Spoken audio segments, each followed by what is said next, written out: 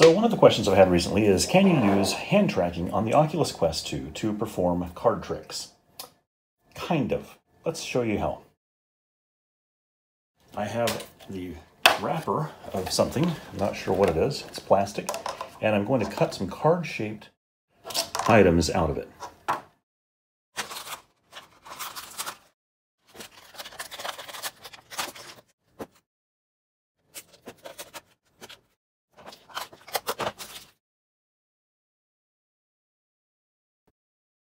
Okay, so now I'm going to try some stuff here. Uh, the first thing I want to do is use the hand controllers to um, pull up the main menu so I can start recording this. So I'll do that real quick.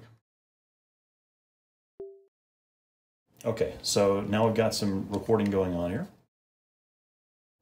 And these are currently the, the controller hands that you see in front of you. And what I want to do right now is switch to regular hands. So I'm just going to take the controllers and set them down on the ground next to me. You can set them on your desk or wherever you want, but they have to go stationary. Once they do that, then you have full hand controls. So I can't see the table in front of me, but I can feel these plastic cards here.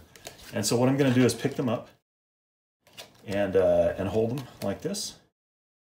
And you'll see the hands themselves have a little bit of constant movement in the fingers, and that's uh, from the estimation of the finger locations.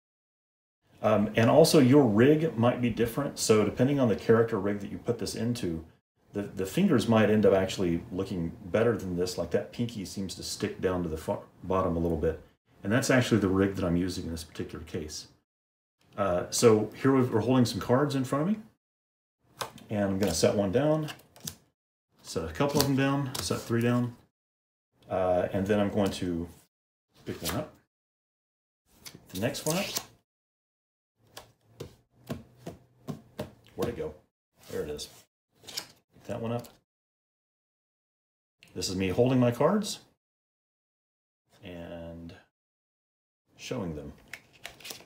Uh oh All right. So we lost uh, hand, hand tracking as you can see here, the reason is because my arm is actually out straight. And when it does that, the hand estimation goes completely nuts and tries to figure out where the hand is. Because this camera on the headset can't see straight down my arm to tell where the arm is. So you have to keep that in mind when you're doing this. And I might have to add something to Glycon to compensate for that for some at some point. So here we are holding three cards. Um, we could also we could also shuffle shuffling almost works, at least uh, in the headset. These plastic cards don't, don't really shuffle. I don't think I've ever shuffled three cards before anyway. Okay, but there's one, there's two, there's three. So that's what it would look like if you tried to shuffle cards. You could probably smooth it out in a 3D program afterwards. You could probably do a few takes and get some pretty decent uh, card shuffling in there. But I wanted to show you that's what it currently looks like.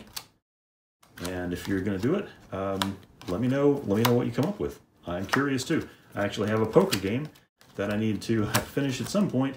Uh, that I partially designed Glycon just for that. Um, and hand the hand stuff was a, a really tricky to get without something like Glycon.